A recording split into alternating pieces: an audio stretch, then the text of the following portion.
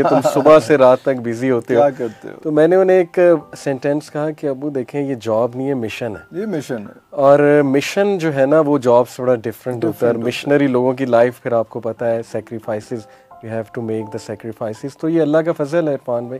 अल्लाह ने इन कामों में लगा दिया। कभी कभी ये भी ताना मुझे पड़ता है घर से कि तुमने मौलवी बनना था तो मेरा इतना पैसा जिया कि मैं क्यों लगवा दिया?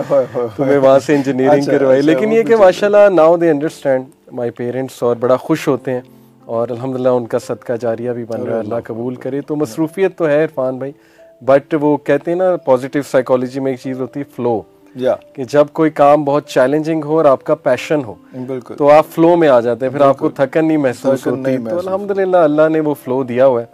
और ये पैशन भी था और अल्लाह ने इस तरफ़ लगा भी